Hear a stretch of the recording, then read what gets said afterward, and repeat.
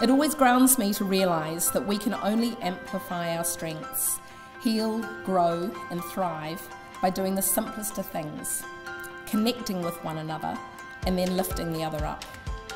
He waka eke noa. We are all in the same boat, after all. There have been some real New Zealand diversity highlights this year. The two main parties in New Zealand's election were led by two very strong capable woman. One, I think, actually is here. Nanaia Mahuta has been appointed Foreign Affairs Minister, first woman and first Maori woman to hold this position. Also, one of the global diversity highlights for me this year has been the appointment of Kamala Harris as the first woman Vice President of the United States. I loved her simple message when she was elected. To the children of our country, regardless of your gender, our country has sent you a clear message. Dream with ambition, lead with conviction, and see yourselves in a way that others may not, simply because they have never seen it before.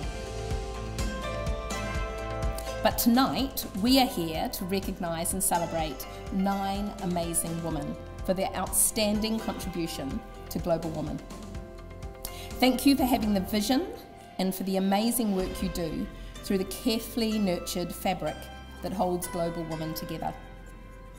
You have all been transformative in the ways that you have championed diversity and inclusion and been instrumental in laying our foundation to build a more diverse and inclusive Aotearoa New Zealand.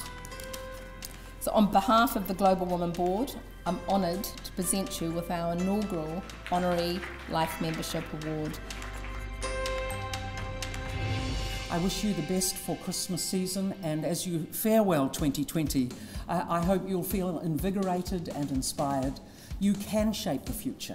This organisation, being beside you, can help you shape that future, and I want you to be brave and determined as you do so. Thank you for the honour you confer on us. Success, I suspect, for us all will be what you do next. Thank you very much.